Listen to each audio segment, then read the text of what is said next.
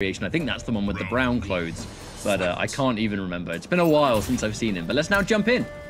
Makoran rocking that variation, which he uses the most. I think that boiling point being so important. But Dagger Dance, you know Law Corridor is a flawless block machine. So that parry with Skarlet going to be pretty much mandatory, I think. You need to create that mind game already.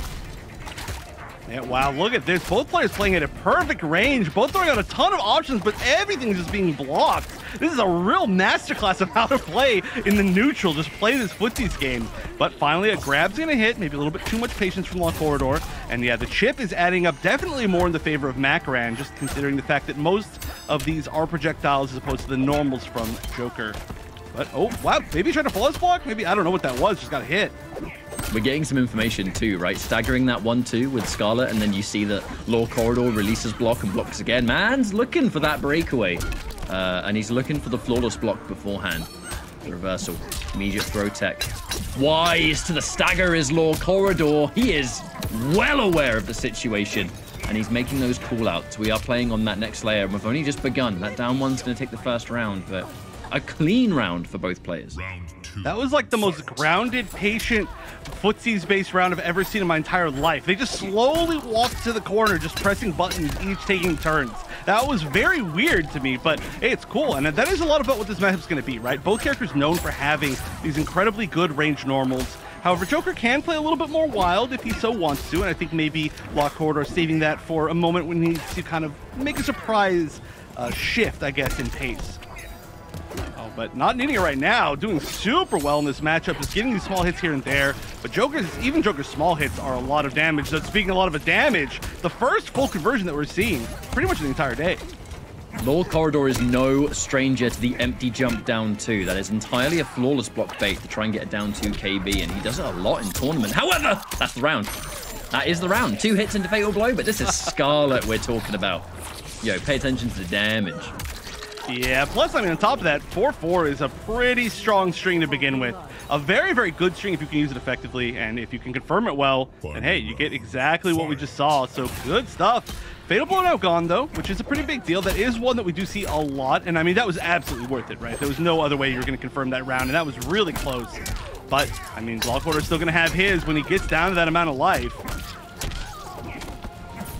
Oh, this is the sweep. Big deal. Yeah, looking for the ender. I mean, the bulk of the damage is already done, thankfully, but every little helps in this kind of matchup. Uh, some kind of call out there from Makoran blocks the jump in, but eats the rest of it. Another launch, and we're in the corner now, so it just gets even more punishing. Oh. Makoran's in big trouble, and at that position, I mean, that was a mid, that was a stagger, that was a grab. Either way, a hard call out to make, and Law Corridor, yo, no mercies here. We're wow. serious today. Hey, you know what? It's the monthly finals. There's more on the line. Maybe, you know, it's just time for serious mode. Although, you know, we did talk about last time that we saw Law Corridor doing very well. Uh, he was saying that he wanted to like get back into like the normal Law Corridor mindset and uh, you know do some some fun little mercies and disrespectful enders. But uh, I mean, I, I, really thought that that was making him play better, but I mean, he's looking great today. He's not doing that yet, at least. So we'll see what the uh, the whole general mindset going into the rest of this tournament is. Regardless, I mean, I think it's looking good, and I wouldn't be surprised if we did see the switch to Cetrion. Oh, maybe not. Wow, immediately back into Skarlet. But you have to go into a matchup again knowing that Law Corridor, he hates fighting Cetrion so much that it's probably one of his most studied matchups. Mm-hmm. So it's like, what do you realistically think gives you a better chance here? Is it going to be the more unorthodox pick that not everyone uses, which is Skarlet, or a character that everybody uses, and at the same time, you know Law Corridor, as much as he hates the matchup, hasn't played it extensively. So it's kind of hard to say what character would be quote unquote better for this kind of matchup. You know, one thing I really hope they add one day is the ability to choose which tournament appears in this tournament background. Because I kind of miss it. I miss that competitive season where it all appears like CEO and Combo Breaker, ECT. yeah, yeah, that that would be cool. Uh, I mean, especially just the fact that it changed like the whole stage so much, right? Yeah, so I know, I, right? Yeah, I, I uh, miss those for sure. That would be cool. Uh, petition. Let's sign a petition. ECT was my favorite, but I'm a huge sucker for like classic Mortal Kombat, so I guess I'm a bit mm. predictable in that sense. Okay, well, anyway, here we go. Down to about 20% life already. I mean, that was quick. That's what we're talking about tournament stages. But Makoran, you know, staying confident with the pick, and it looks like it's paying off. Oh, Able but to has more of a ranged game so far, Chef. That's a, that's one of the big deals. Trying to punish Kapow with sweep. Now, speaking of, bam! Simple round and being able to play that ranged game, which Skarlet does so well. Tried to rush down in the last game and just wasn't able to get an upper hand. I think the change of pace is what we're seeing here. Yeah, the it, I mean it's tough, right? You got to be in a range where you can play your game, but just barely outside of the range where Joker can play his. So this is such a movement-oriented matchup. Even though it doesn't really look like it, nobody's zooming around the screen. It's all these like micro spacing situations where you're like, yeah, I'm just outside of his sweep, exactly like that. Thank you, thank you so much for uh, for showing exactly what I was saying. Just outside of his sweep, so I can whip function with my own sweep or stuff like that. Wow, this defense, this iron defense from Makoran and two heals. That's going to make that divide between health much more significant. Happy to block once more, keeping a really comfortable lead. Staggering individual hits so much, Chef, that the flawless block, by the time you think you can do it, maybe you're not prepared. I, cannot tell you how much I'm enjoying watching this match, by the way. Just the style that these two are playing, it's almost like they've just decided to like both just try to play each other's game and just see who can play this mid-range more. Like, I don't remember the last time either of them even like jumped, basically. They're just choosing to stay 100% grounded. Oh no, here we go, full launch. Probably going to, yeah, get the side switch, nice execution. Meaty mid, because he had the grab as the ender of the last game, getting clipped. A grab is fantastic, but look at the clock! Gives him the life lead, oh, narrowly. Oh, oh no, oh no! Oh, oh, no! Short hop! Short hop meta, we in there? Oh, and he made the right read using the blood tentacle too, but he was just slightly misspaced or maybe mistimed. I guess you could say the same thing. Unfortunately, wow. I mean, unfortunate for Makoran, but amazing clutch from Law Corridor, and that's got to feel great. You can already see that he's he's moving really well this time. It looks like he's holding some momentum. Oh yeah, you're gonna be feeling yourself. We know Law Corridor, an incredibly confident player. All I do is watch any one of his streams to know that. Nice knockdown and confirm, mixing things up. Looking for the far teleport, and that will be spent. Makoran escapes the corner, but by doing so loses the defensive meter. So that is going to be a trade-off here. Big damage, though, and we cash out on both of them. A safe jump into a down one. That would not have been beat by a wake-up attack. Oh, Uh-oh. the whiff punish. All right, assumes a breakaway. Maybe could have gone for a little bit more. No, that didn't. Well, yeah, that was break. That was meter for sure. But all right, gonna get the grab. No crushing blow loaded. Just needs a little bit more damage, but fatal blow is available, so any cancel could end this. Oh no! No! That was a missed input from Makoran, I'm pretty sure. Well, okay, this shouldn't be it, right? This shouldn't be it. It's gonna be close. It's gonna be down to just about chip life, but this is a projectile trade away even. Oh, and I'm getting a little bit more chips. Oh, and the 2-1. Oh, almost able to get the hit in time, but not quite. And that is two heartbreakers, two gigantic heartbreakers in a row from Makoran, but Law Corridor taking perfect advantage of both situations given to him. That was just like you look at that situation and he had to play perfect.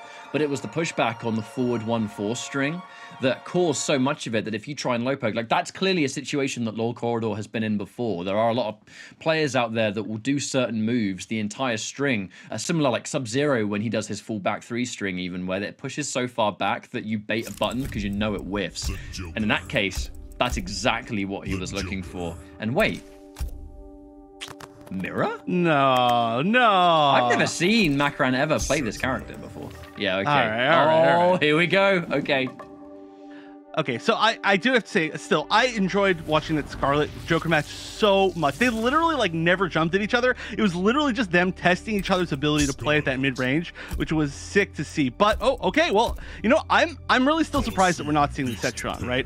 I mean, at this point, they're pl- both playing so solid that it's going to be really hard to make a three game comeback. It's going to have to be just incredible play from Makoran. We are going to see the same variation, all the same things. I'd expect to see that all the way through from both sides now. But I mean, hey, the Cetrion could have definitely worked, and it certainly would have changed the style of the match a lot. Now let's jump into potentially the last game here between these two as Law Corridor currently 2-0 up, but with Makoran playing so clean. We could have a, a long climb back into a game five at this rate. Makoran doesn't have the fastest rounds in the world because that's just not the nature of Skarlet. She has to play the game at a slightly slower pace. It's just how she caters to the mechanics, right? The range, the button. You have to kind of chip it down piece by piece. Boiling point definitely helps because of more damage, Yeah. but I think that he's going to get consistently out damaged by Law Corridor, you know, because you can confirm into Kapow, that's always going to be giant damage on tap. Oh! Ooh. Oh, and the parry. All right, everything now working out for Makoran. Yeah, that flawless block was beautiful. And of course, one of the only up threes that's actually going to reach far enough to be able to actually punish that in the 2-1 from Joker. Uh-oh, but here we go. Big damage down two. Look at this. The cancel getting almost 400 damage for one bar. Oh, yeah, you have to break away there. Oh, no. One more grab away. This shouldn't be the crushing blow, right? Yeah, too, too long, just barely. Oh, didn't confirm, didn't commit. Teleport, back-to-back poke, and there's nothing you Oh. can do to shut down the inevitable chip without last breath to save your skin. We're going into a final round here for Law Corridor. This is his match point. And if he takes this round, he will be moving on. Forward throw, starting things off nice and strong here. Makoran, plenty of work left to do, but I want to believe. I always do. I mean, every single round is so, so close, but it's just been really who can clutch out these final moments, and it's been Law Corridor mostly every single time. I mean, this has been one of the closest two O's that, uh, that I think I've ever seen. This feels like I've been watching this for an hour and a half, but I mean, in a very good way. Oh no, gets clipped. That is a string that just hits so many good players. Really similar to Jacqui 122 in its own way. Or sorry, 112. All right, here we go. Starting the zoning again, though. Building a lot of space, and that's gonna, this is going to be when Skarlet's the strongest. Ooh, flawless blocked, but actually didn't challenge, didn't believe in the block. Clean with punish on that 2-1-2. You can sometimes forget just how much range that standing 2 has for Skarlet. He extends. Ooh. Nice use of the teleport. It was a regular teleport though, so Makoran doesn't have to lose his defensive bar to get out of that one. Heal. Okay, here we go. I like that. You like watching a Skarlet player kind of just buffering the Amplify on the regular projectile, just in case it hits. I mean, if it hits, it's free health. You may as well do it. It's a built-in option select, basically. Yeah. It's also slightly more advantageous for whatever reason, uh, but uh, yeah, you take them both. You take them both absolutely. But here we go. All right, gets a, gets a very solid round that time, which is uh, really the way that Makoran wants to win, right? You want to just never let Law Corridor in. You just want to always find your space, always find your ways to get out of the corner. But right now, I mean, that's going to be the uh, the real test. Oh, that's a good way to do it. Oh, just goes into the teleport. That's such a cool ender. You just, you're like, hey, you know what? I'll just side switch. I won't take the damage. It's more important. There it is again. Using the short hop of his own. Ooh, wait a minute. Am Not able to cash out yet. The delay, just in case. Dash in, grab. That's going to almost equalize the health here. With the patience. Oh, flawless block into it.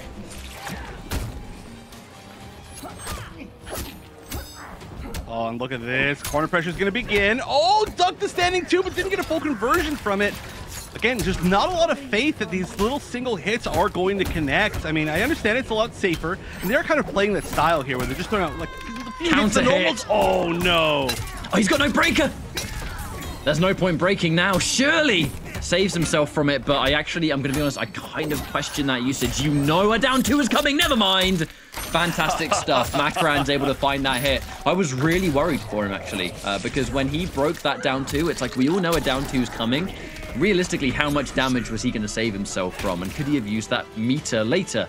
Thankfully, that's not even a problem that presented itself because he was able to find that hit, confirm into Fatal Blow, and keep himself alive. Now, these are longer games for sure, but that's just the nature of this matchup, and we could be in for longer still. Oh yeah, absolutely. Uh, I mean, this is uh, this is I like I said, it's already a really long match, even with the fact that it was 2-0. But I do like to see Makoran uh, really uh, like coming back into this set. This has been a really fun one to watch, and uh, of course, you know, just as a side note, anybody out there who wants to sign up themselves or wants to see how to watch more of these tournaments, go to compete.playstation.com. Right down there, you see it uh, because there's definitely going to be a lot more tournaments, not just for Mortal Kombat, but for a lot of other games to watch in the future, or you know, to compete in. You could be uh, one of these players that's here, and so I yeah, okay. So we we did see the exact same variation coming in. uh, which does make a lot of sense. I think you want to stay solid at this point, right? You want to just play the game that you've been playing and just hopefully try to make those clutch last moment decisions again. And that's going to be the biggest deal of this matchup. As always, I've seen another comment in chat room that asks about why players don't do fatalities. You can. There's nothing stopping you from doing finishing moves in this game, but it's yeah, that was sick. Uh, it's very much a a thing that players often don't do it because it just takes a while. And if you're kind of in the moment, you're you're you're feeling the flow of the match and stuff sometimes finishing moves, they just take such a long time, they take you out of your momentum. And players often just don't do it. They'll fatality at the end, almost to kind of put an exclamation point on the end of a set, but mid-set, it can be seen as a little bit of a time waste. However, what? sometimes they use fatalities to make you have to wait, right? So it can be used as a mind game. Can you believe, what kind of world are we living in where we're watching Law Corridor and somebody's asking, why aren't they doing finishers? yeah, someone who normally fatalities and mercies every single match, but not today, apparently. I know. What what incredible timing. Yeah. I mean, if anybody wants to go back and watch any of Law Corridor's other tournaments, you will see plenty of uh, finishers, whether it be brutalities or fatal blows that are delayed or oh, crushing blow. Nice. Not gonna get anything off of that but the damage. But at this point, that's all that matters. A life lead's gonna be so hard to come back from for Skarlet. That's gonna be the big difference, I think, in this matchup too, is that Skarlet, it's hard for her to open up anybody. She just takes her damage from Chip from whiff punishing, and then Joker has that comeback potential pretty much always, especially once he gets in that fatal blow range. We see the Eight blow. seconds. And he, he can get grabs now. You know, if, unless there's an escape failed, he can afford to just sit here and block for the rest of the round. And there is no way uh, Makoran is going to be able to open up that much damage that left to go. Now, another match point here for Law Corridor, but Makoran proven to withstand the test of tournament time, so we'll see if this comeback is possible. Another empty jump down two to bait the flawless block. Thankfully, though, for Makoran, not going to bite. Yeah, I at the end of the last round, I would actually oh, like to see the oh, attempt. Yeah. Oh, okay, big breakaway, and here we go. This is a launcher, only in the corner. Gonna get absolutely max damage off of it. Gonna spend the second bar. Yes, look at this, 335. That's big. Oh, wake up down two though. Well, oh. I've actually just been informed that we have the Twitch front page, which has no doubt introduced a bunch of new viewers. Welcome, everyone. You are currently watching our monthly finals for April for the MK11 Open Series here as part of PS4 tournaments. This is currently match point for Law Corridor, currently playing as the Joker. And it's a pretty nice little prize pot for a monthly finals. You got that $400 for first place, 300 for second, then it kind of goes down to third and fourth. And I think these are two players that just grind constantly anyway and uh, no stranger to an open series setting. But this ranged game, Makoran fighting tooth and nail for the comeback and can still make it. Let's go. Oh, that was such a scary spot. I'm telling you, this match is constantly coming down to these final hit moments. But at that point, Makoran just barely making the right call. If that had been jumped over that blood ball, that would have been a really unfortunate situation. But, I mean, now look at this. Makoran has the corner, has all the advantage here, has the first combo of damage. And so now, okay, well, actually, Corridor fighting out. I was going to say, Makoran can take this to a game five after being down 0-2. And that could be huge. Great flawless block. Going to force all that defensive meter out. Oh, my god, the short hop whiffed! I haven't seen the short hop whiff like that in a very long time, and now a full combo for Law Corridor, getting a whiff punish. The clean jump in. Thankfully, the 2-1 pushes Makoran far enough away that he's not going to get punished, but that forward 2 definitely will do it. And there's a break. No attempt. The call-out made by Law Corridor. And that's a counter hit. The down 2 is going to come out, and now there's nothing he can do. Law Corridor coming in with the disrespect just in time. Is it going to be a mercy? Oh, nah. A, this is not going to be a friendship. Surely not. Nope. Yeah. Definitely yep. a finish him. Definitely a fatality. okay, but okay, seeing this from Law Corridor. Okay, here it is. Boing. But okay, that shows how much respect he has, I think, for